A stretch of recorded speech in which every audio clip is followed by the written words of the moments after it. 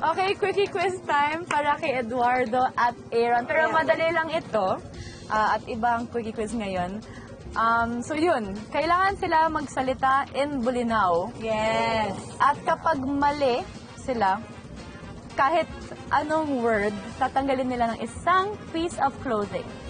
Oh! Are you guys okay with that? Oh. Alright, coming from the movie, Apoy sa dibdib ng Samar. Oo! Inaamin ko, saging lang kami. Pero maghanap ka ng puno sa buong Pilipinas, saging lang ang may puso.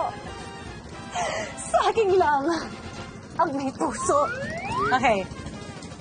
Oh, aminan ko, matag kamita mo. Bale, maningkap kanin poon sa intron Pilipinas.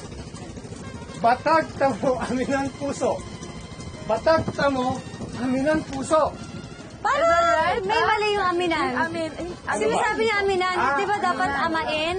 Amain. Amain. Amain. Amain. ng t-shirt. Sole! Hanggang na yan. Ayan na! T-shirt na talaga agad. Yes! Ah, woo! Naghubad na! Naghubad na. This is from the movie, Maging Sino Ka Man, Robin Padilla. Champion ka talaga, no? Taas ang kamay ko sa'yo. Nakakagusto na nga ako sa'yo eh. Mahal na yata kita sa palagay ko. Maging sino ka man. Okay, one, two, three. Champion kan talaga. Tagay agamet kumur.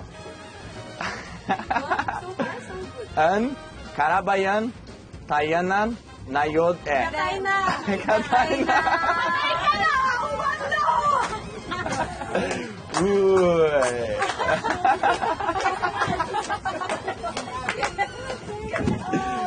Shut. Alright. So thanks guys, thanks Aaron and Eduardo for joining us on our Thank back you! dito sa Balinao. Yes, sana nag-enjoy kayo sa aming adventure. And remember mga kapuso to always be a responsible traveler, okay?